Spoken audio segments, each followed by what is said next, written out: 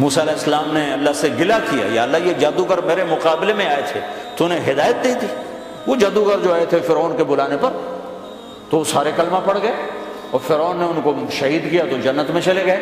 मूसा इस्लाम ने वैसे पूछा, या अल्लाह, ये तो मेरे मुकाबले में आए थे, इनको हिदायत कैसे मिल गई? का मूसा, तेरा रूप धार के आए थे, मुझे अच्छे लगे।